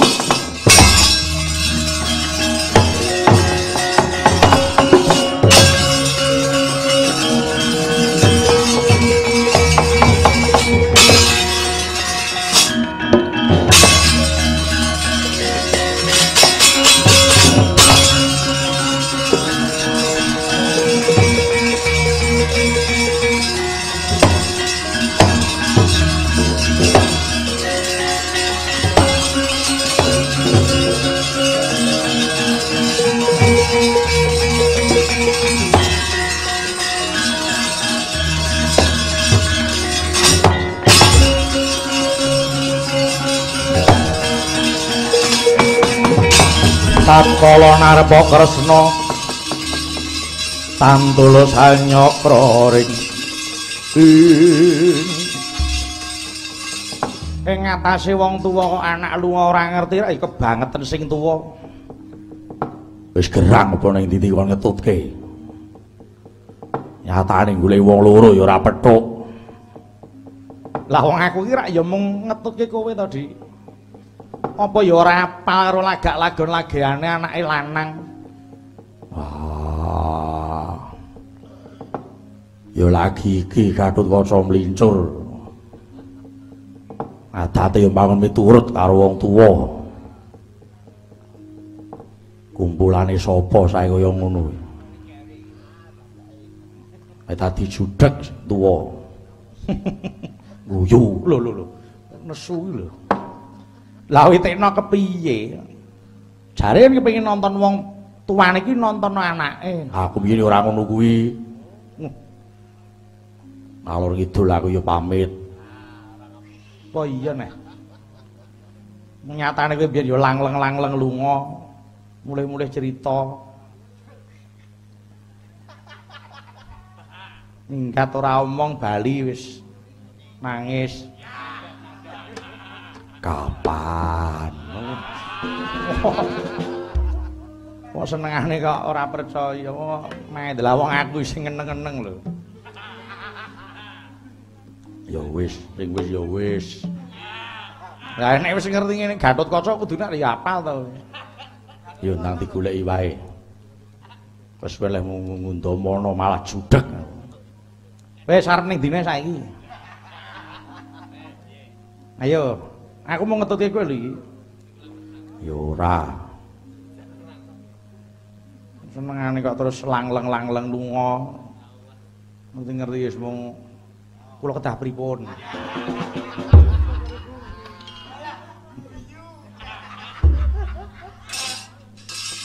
Gah. Nuruti kowe iki malah kewirangan dhewe. Ngono ya melu kok. Oh melu wong tok jak kok. Wong goleki anak kok nganti gawe bingunge wong. Gelem anak-anak kok ora gelem goleki dhewe. Lila ora. Ora lila kok ya wis. Wis mlaku sado-adoe petuk ya syukur ora ya tak bali sik. Bali. Ngene isih judhek kok mulih. Ya wis, nyuwun ngersane Gusti muga-muga endah ketemu. Ya ayo golek sak ketemune.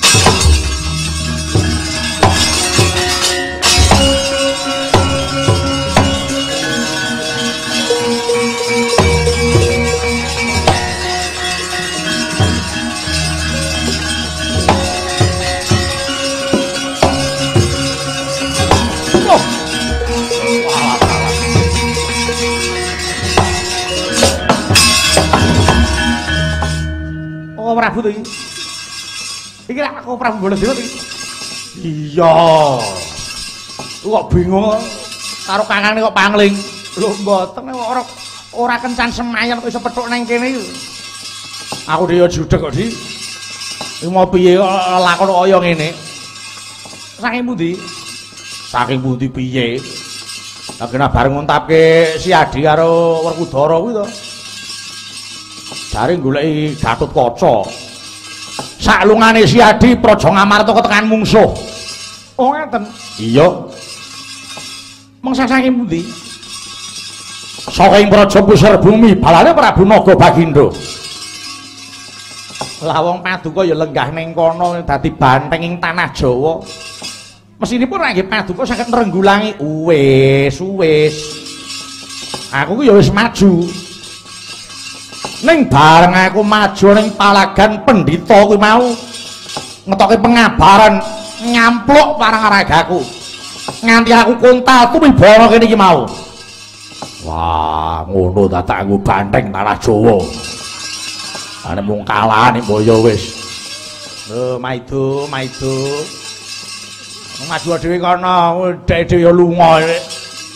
Aku lek anakku. Oleh anak ning negara bareng kene kalah dipaido. Di Dong Kakang mung iman lho. Aku ngeman Praja Ngamarta. Yen nganti kesuwen Werkudara ninggal Ngamarta, ora urung malah bebayani. Nang ngaten monggo kula kanthi ngumpadi serayan kemawon. Ayo tak derek ya.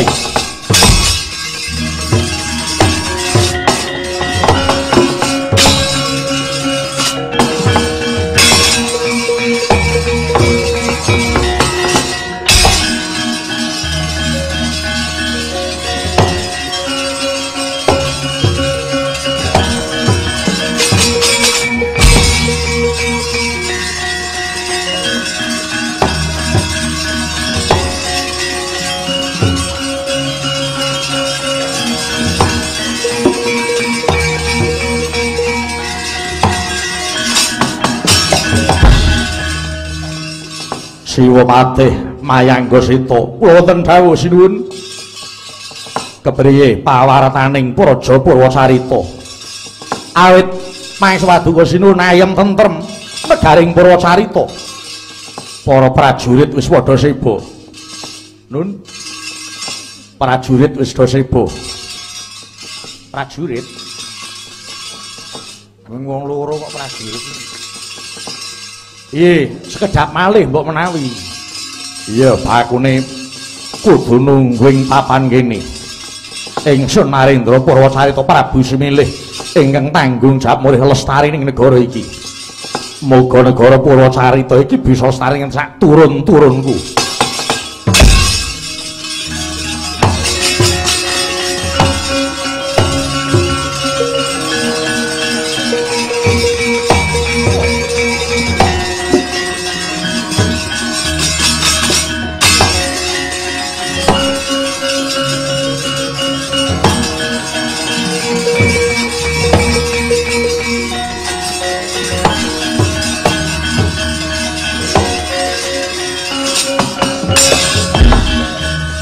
Pak Prabu, piye, Dik? Anggenipun Ngupadi Saraya kados ing Maduka Wuningani wonten negari endah. Sareng dipun perpeki wonten ratu ingkang lenggah niku negarane suwung. Padha rarja sak praptamu ki sanak. Mara sira ngaku kowe iki Narendra saka ngendi? Sapa kang dadi jejulukmu? Ingsun Narendra Ndrawati Prabu Sri Bathara Kresna. Narendra Mandura. Baladewa. Satrio gagah gedhe dhuwur ireng geseng. Sire iku sapa? Wah. Warakudara. Sire iku sapa ki sanak? Ingsun Narendra ing Purwacarita kene. Jenengku Prabu Sumilih. Prabu Sumilih? Iya. Lho. Wira Anoman. Anoman sapa? Ngawur. Patih. Mayangga Sita. Anoman. Anoman kuwi. Ndek ben aku wong loro nunggu ngamarta. Ah, kaya saya ngawur neh. Anoman sapa? Patih Mayangga Sita. Kok Anoman? Munyuk putih mung siji. Anoman Kakang. Ah, siji piye? Mbok dolan ngetan ngono ning pinggir dalan oke ning ngetan ngono. Oh, munyuk putih pirang-pirang. Anoman iki sapa ora tepung kok. Aku iki Patih Purwacarita Mayangga Seta kok. Anoman. Jenenge ning dada isih ning Anoman kok. Ora ngakon milih ora oleh. Prabu Bathara Kresna ana parigawe apa katon semengko gita kita mangku gati para tamu ora Purwasarita. Prabu Sumilih praptaku ing kene ora ana liya mung kejaba ngopadi serayan. Ngertenono wektu dina iki negara Ngamarta ana mungsuh ingkang nekani Narendra saking pusar bumi Prabu Naga Bagindo. Ya, Prabu Semilih. Nalika semana aku ingkang mapakake Prabu Naga Bagindo nanging dening pujanggane aku ketaman pengabaran nganti tumiba ing papan kene iki. Nalika aku mapake mungsuh gajeke ya ora ijen. Aku ya dikancani karo Wanara wulune putih, ya padha kuwi. Ane dudu no jebule. Kala nganti aku tekan kene iki. Mula Sang Prabu. Nggonku teko papan kene iki ku Padi Seraya. Eh, sapa ngerti ora kang bisa madangke lakon Praja Ngamarta. Sumingkira. Wis wajibe menungsa kudu tulung tinulak tandangane dhewe.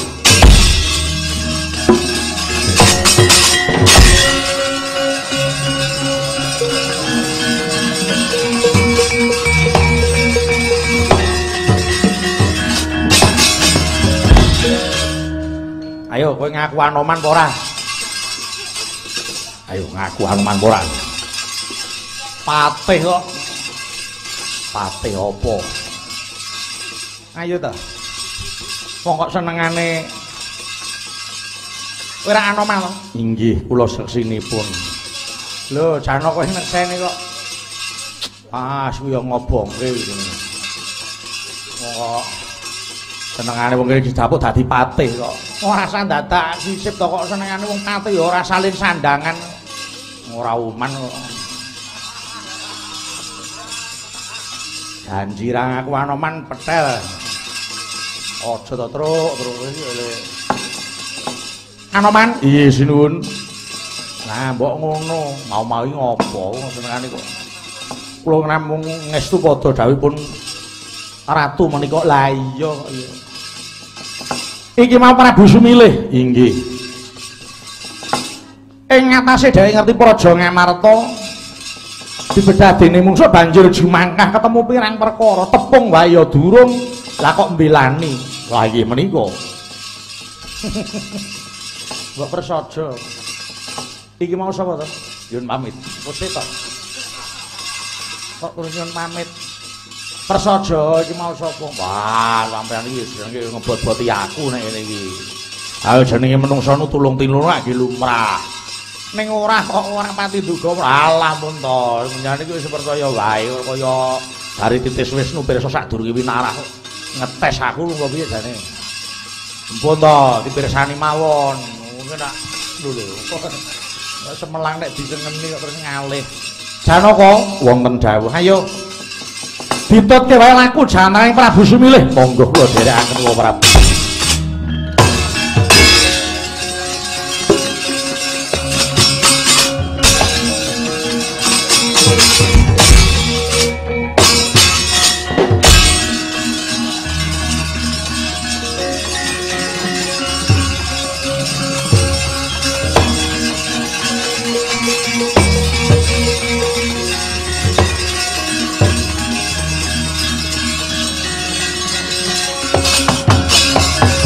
Ora man. Ana panggir sampun sawetawis mapan mesanggra wonten sak selai negari Ngamarta. Ewadene dereng wonten trontong-trontong Pandhawa masaraken negari Ngamarta. Tinteni luwih dhisik. Mbok menawa mengko bakal ana ingkang pasrah Praja Ngamarta. Geger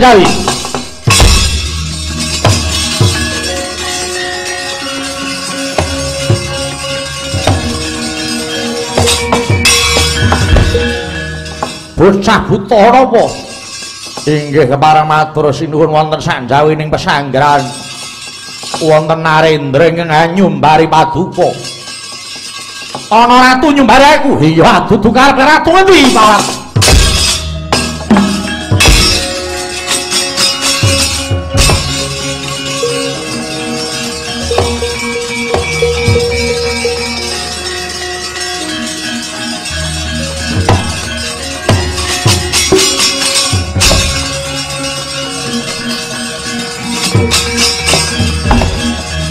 ana ratu temeka papan kene. Aku kowe sapa? Prabu Sumilih bali takon. Prabu Naga Bagindo apa bener lamun to sira bakal bedah Praja Ngamarta apa perkarane? Iki dudu perkaramu. Iki perkaraning Naga Bagindo lan Ratu Ngamarta yen aku arep bedah Praja Ngamarta kowe arep apa? Aku duwe sayembara. Apa sayembaramu kelakon bedah Praja Ngamarta bisa nglangkai Prabu Sumilih walah dalah sasewa saranya mbuh dadi kuwi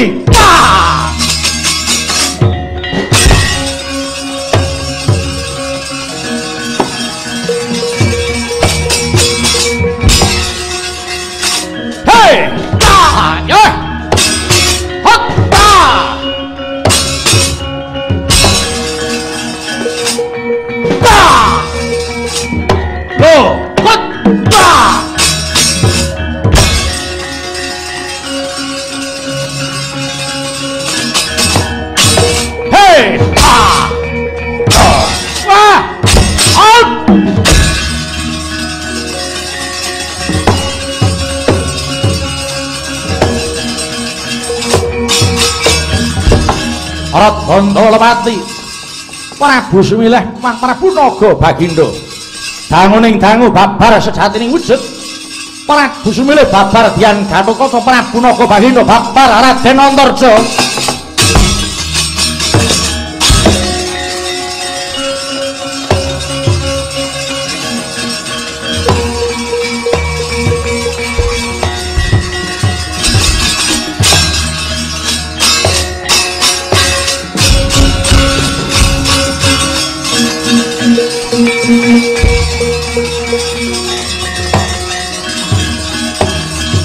Padi Kakang Mas.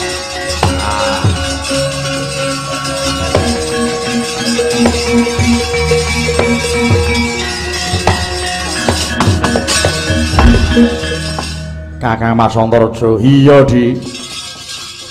Aku sing memba Prabu Naga Bagindo kok Di. Kula ing memba sumilih.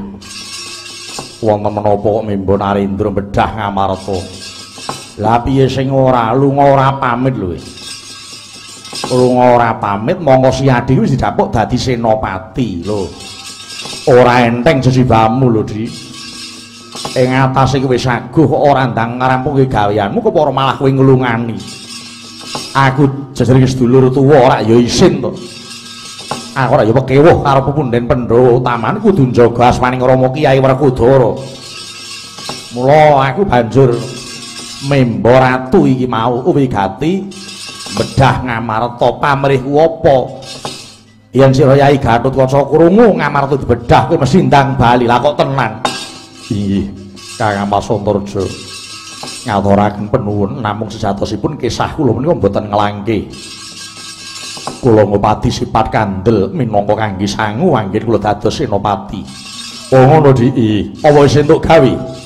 Awit pangestu paduka kula sampun ngregem kasampurnan wah yuning kasantosan. Wah syukur di syukur. Ngempeke yom ya di. Putra rama Kiai Werkudara sing ketrima ya mung kowe kok di.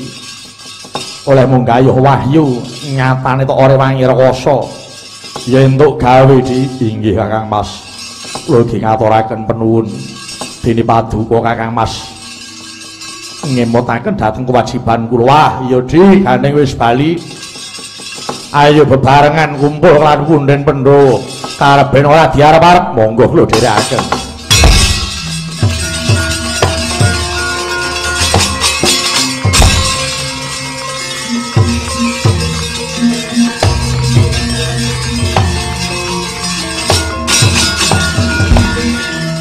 Sing kandha yen pendhita iki sapa lah wong iki Bathara Antabuga eh lah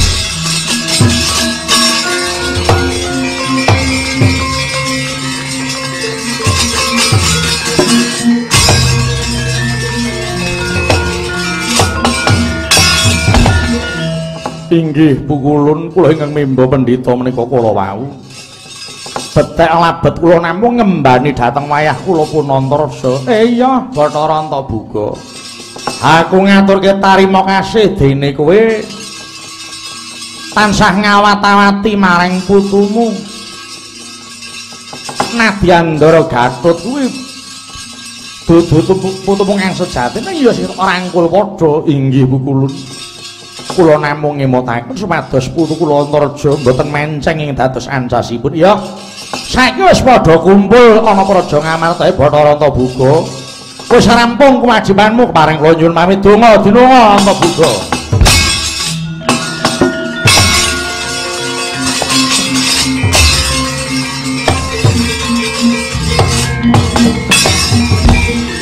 Sida kewirangan meneh mau tak jagake Prabu Naga Baginda iso mateni Pandhawa. Lah kono maliyane Antarja wasida kewirangan awakku iki. Eh atas ora trima ing Kurawa waton lanang nyekel gaman. Barisan kuting klopo doko ngarep Kurawa.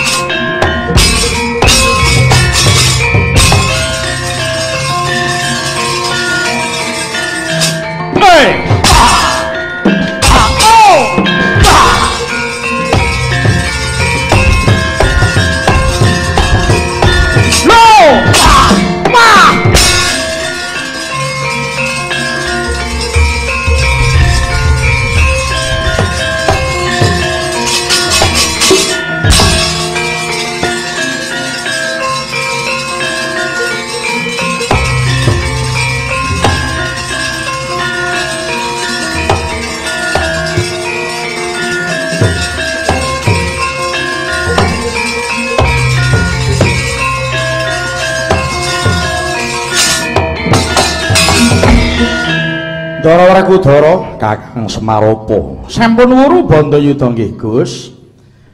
Awit keridanipun Ndara Gatotkaca wiwit timur sampun ngetingalaken ireh tanggung jawabipun ngantos pinercaya minangka dados jagoning dewa. Dewasanipun Ndara Gatut saged ngarumaken asmaning darah njadi mati tuwin darah pringgondani satemah pinilih minangka dados senopati ing negari Ngamarta. Menika kanugrahan ingkang tumpuk matumpa-tumpa tumrap kang putra Ndara Pringgondani. Iya. Urmangsa lega rasane atiku. Dene anakku Gatut Kaca bisa ngaromake jenenge wong tuwa. Inggih. Inggih Den. Mugi lekasipun Ndara Gatut kala wau saged dipun tulak dhateng para mahasiswa mahasiswa ingkang sami dipun godhog wonten ing kawah Candra Dimuka inggih menika Universitas 11 Maret mugi UNS tuwuh Gatut Kaca Gatut Kaca tuwuh satriya satriya ing mangkenipun saged ngentas dhateng kasangsaraning negari tuwin ngarumaken Universitas 11 Maret menika. Iya. Kanthi kridaning Ndara Gatotkaca ingkang sampun sineksen jagat kadidene kridanipun pepundhen kula Bapak Profesor Dr. Jamal Wiwoho SHM Hum ingkang tansah ngudi ing ngreh kemajenganipun Universitas 11 Maret para Pandhawa menika gambaranipun para bapak ibu dosen ingkang sami nyengkuyung ing dados programipun Bapak Profesor Dr. Jamal Wiwoho SHM Hum mugi-mugi Bapak Rektor sak jajaranipun sumarambah para mahasiswa tuwin para baraya wagung ingkang mapan wonten ing Universitas 11 Maret sageta nampi wahyuning kasantosan samudayanipun. Ya aku melu nekseni. Kangge ngadepi dhateng swasana negari ing gunjang ganjing kanthi tuwuh para satriya-satriyaning negari saking Universitas 11 Maret satemah saged ngentas ing reh penandanging Papa Cintraka para kawula. Iya. Muga sineksen apa kang dadi kandhane Kakang Semar Badranaya kanthi kridaning Ndara Gatotkaca ing sampun purna teges sampun titipur ning gati lelampaning dalu menika. Kunjuk panjenenganipun Bapak Profesor Dr. Jamal Iwo SHM Hum sak jajaranipun sumarambah para pamriksa tuwin para miyarsa lumantar live streaming pun semar sak kanca ingkang ngayahi wajib purmasi kathah lepat saha kirang. Mawantu-wantu nyuwun gunging samudra pangaksami. Sak bibaring ringgitan Dias Natalis sing kaping sekawan dasa 6 Universitas 11 Maret saya kuncara enjaying bawana saya kuncara saya hebat saya hebat tinebuhna saking durga sengkala cinaketna ing bagya mulya. Pungkasane ngatur monggo kula kanthi sesanti sepisan merdika merdika salaminya. Akhirul halam. Wassalamualaikum warahmatullahi wabarakatuh. Saka bungahku bakal joget tandha syukurku. Semoga den